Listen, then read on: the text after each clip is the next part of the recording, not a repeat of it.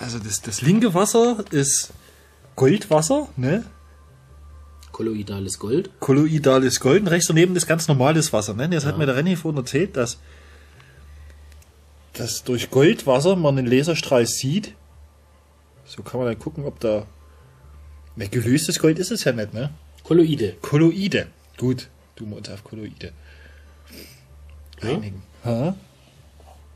Und jetzt im Gegensatz das andere Wasser, ganz normales Wasser, da sieht man gar nichts drin.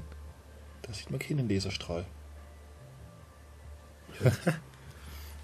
Die, die Kolloide, das, da, da nimmt man auch, äh, musst du destilliertes Wasser dazu nehmen. Ja, das ist destilliertes Wasser, ist das. Ja? Und es ist auch nur ganz leicht. Das ist auch sehr durchsichtig. Da sieht man gar nichts, ne? Nee, nee, du siehst da nichts. Das, das, das bleibt doch immer so. Das, das setzt sich nichts ab. Aber macht die Blutbahnen schneller eventuell. Die Nervenbahnen. Die Nervenbahnen. Hui. Goldwasser also. Hm.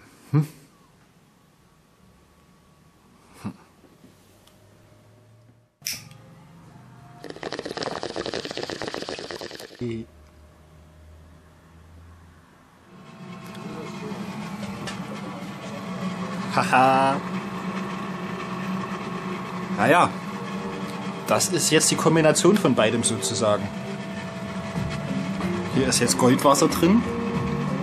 Und wenn die Storys wirklich stimmen sollten, dass wir schon Erfahrungen auf anderen Planeten hätten, ne, was so mit einer Atmosphäre mit der Zeit passieren kann und ähm, Goldstaub oder zumindest irgendwelche Goldinformationen da in der Atmosphäre wären, ist das angeblich gar nicht mal so schlecht für Mutter Natur.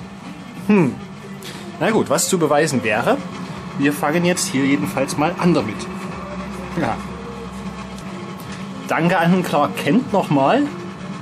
Äh, Clint Clark, äh, weiß schon, Superman halt. Ähm, der hat die Dinger nämlich auf Ebay gefunden hier. 45 Watt Lüfter.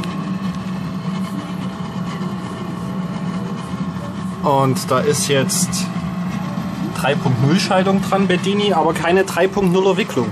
Also ich habe drei Drähte Trifilar genommen, habe sie verzwirrt, bin so auf 45 Windungen pro Starter gekommen und habe die dann halt alles so nach Bedini 3.0 Art angeschlossen.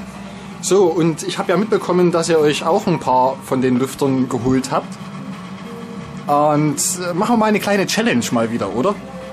So, ich starte nämlich mit, also das ist jetzt nur mit 250 Ohm Widerstand, da drücken wir hier um die 120, 140 Milliampere in die Batterie rein. Ne? Die Autobatterie wird jetzt geladen sozusagen. Er dreht sich ja ziemlich schnell, ne? wir müssen ja ganz schön Unterdruck erzeugen. Und ziehen tun wir um die 350 Milliampere bei 12,1, 12,2 Volt ungefähr. So, noch nicht so berauschend, ne? Gut, dann machen wir mal den Trick. Ein Carpoddy habe ich noch mit verbaut. Das drehe ich jetzt mal ganz hoch.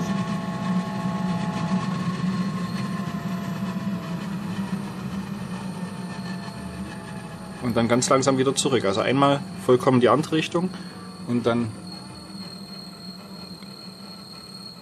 so weit zurückdrehen.